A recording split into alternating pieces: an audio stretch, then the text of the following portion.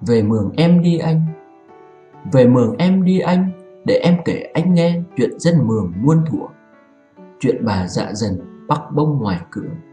Bà gội đầu bến bay, Chạy chí bến sông.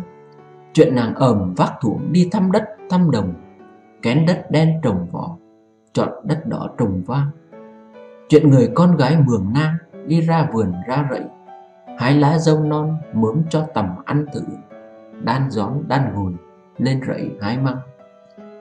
Về mường em đi anh, Gái mường nang dậy chăn tầm Từ lúc còn chưa sáng. Nghe con sóc, con mang lộc cộc gọi bạn tình. Con gái mường nang không nề hà khó nhọc. Buổi trưa còn kéo kén, Tối về dệt áo, dệt khăn. Dệt thành dãy khăn dài 12 thước, Giấu cha mẹ trong tập người thương. Dệt áo hoa màu đỏ, Dệt áo gấm màu xanh. Dệt váy dệt đang Mang sang cậu mường bún Dệt tấm chăn bông, Mang tặng mộc mường khương. Về mường em không anh, Để em bảo đứa em, đưa anh ra bãi, Ra sông đánh cá. Đánh từ vực vá Đi qua vực bông. Đánh lấy con cá sông, Bỏ ống chua gác bếp.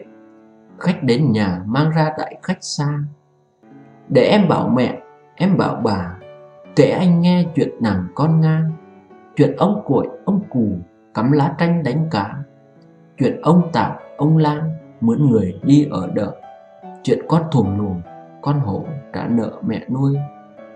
Để em kể anh nghe Chuyện người con gái mường Chịu thương chịu khó. Đặt chuồng cưỡi trong nhà Tự dệt váy dệt khăn. Mỗi năm mỗi mùa mang ra phơi nắng Dệt đủ váy đủ chân để gả cho người.